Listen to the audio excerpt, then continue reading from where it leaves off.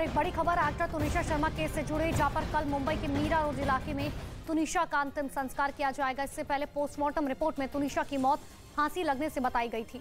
आरोप यह है कि एक्टर शहजान खान से ब्रेकअप के चलते तुनिशा डिप्रेशन में थी, जिसके चलते उसने खुदकुशी कर ली।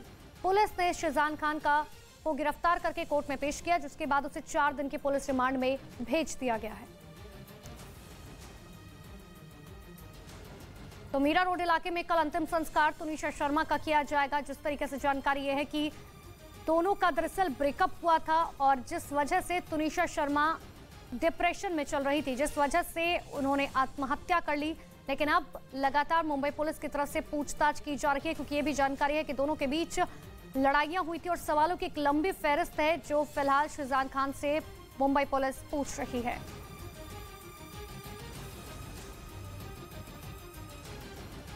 तो तुनिशा की मौत के बाद कई सवाल खड़े हो रहे हैं। सवालों की एक लंबी फहरिस्त आपको आखिर ये बताते हैं कि आखिर मुंबई पुलिस की तरफ़ से कौन कौन से सवाल पूछे जा रहे हैं। तो देखिए, पहला सवाल जो दरअसल लगातार ये पूछा जा रहा है कि आखिर मौत से 24 घंटे पहले तुनिशा ने किस किस शख्स से बातचीत की थी?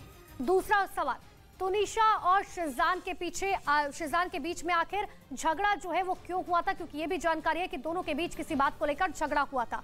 सवालों की एक लंबी फहरिस्त फ़िलहाल मुंबई पुलिस के पास है। तीसरा सबसे बड़ा सवाल यह है कि आखिर पुलिस को जानकारी देने में देरी क्यों की गई? क्योंकि हैंगिंग पोजीशन से जो है, वहीं के लोगों ने नीचे उतारा था और पुलिस को कई देर बाद जानकारी दी गई थी जब अस्पताल प्रशासन ने मृत घोषित कर दिया था। तुनिशा को चौथा सवाल, दोनों के झगड़े के बारे में आखिर शिजान की बहन क्या जानती हैं? क्योंकि अब ये भी सवाल है कि शिजान का पूरा परिवार जो है, ये जानता था कि दोनों के बीच किसी बात को लेकर झगड़ा हुआ था। इतना ही नहीं, अगला सवाल यह है कि क्या झगड़े की वजह से तुनिशा तनाव में थी? और इस बात का ज़िक्र तुनिशा कई बार शिजान से कर चुकी थी, लेकिन उन्होंने इस बात को बहुत हल्के में लिया और आखिरकार में तुनिशा शर्मा ने अपनी जान ली। एक्टर तुनिशा शर्मा का शव सीरियल सेट के जिस मेकअप रूम से लटका हुआ मिला, वहाँ से आपको एक रिपोर्ट दिखाते हैं।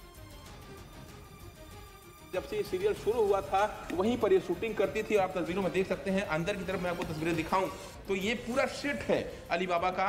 और तुनिशा शर्मा को लेकर किसी ने सोचा भी नहीं होगा कि वो इस तरह का कोई कदम जो है, उठा सकती है। तो ऐसे में अब पुलिस जाँच ज़रूर कर रही है। पुलिस ने इस जगह को सील किया हुआ है। या शूटिंग जो है पूरी तरह से बंद है। तो ऐसे में जो यूनिट के लोग हैं, वो जो है रात को मैं कहूँ कि तीन बजे के आसपास सुबह में जो है, वो यहाँ से गए हैं क्योंकि पुलिस ने सबको रोक कर रखा हुआ था, सबका स्टेटमेंट लिया जा रहा था और उसके बाद ही लोगों को जो है छोड़ा गया है। तो ऐसे में फ़िलहाल ये आत्महत्या क्यों की? ये जाँच का विषय है, लेकिन जिस तरह से तुनसर शर्मा की माँ ने आरोप लगाए हैं कि लगातार जो आरोपी शिजान है, वो तुनिशा को परेशान करता था, प्रताड़ित करता था, जिसके चलते तुनिशा जो है काफ़ी टेंशन में रहती थी, तनाव में रहती थी, और इसी तनाव के चलते उसने आत्महत्या जैसा कदम उठा लिया। लेकिन आप तस्वीरों में देखेंगे तो ये हर दिन तुनिशा यहाँ पर आती थी और जो लोग भी उसके साथ काम करते थे, चाहे वो